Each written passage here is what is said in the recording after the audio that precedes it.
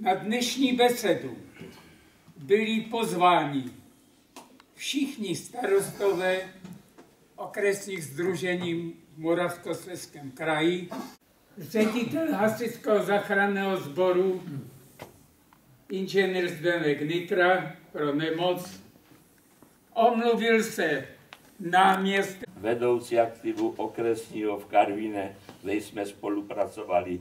Vždy jsme se domluvili a když jsme se pohádali, Celou dobu mi pomáhá a já budu moc ráda, Staníku, když ti zdraví vydrží a když mi budeš pomáhat ještě nadále. Moc a moc ti děkuji. Když jsem tady poslouchal tu celou řadu omluvených, nechci to říct, jak se říká lidově, ale eh, představitelů nebo funkcionářů.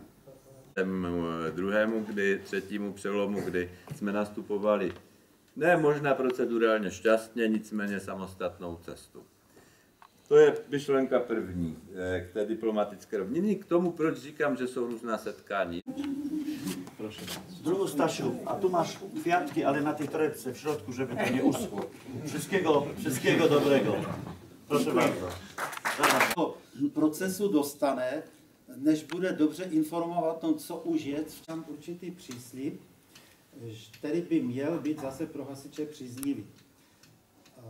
Původně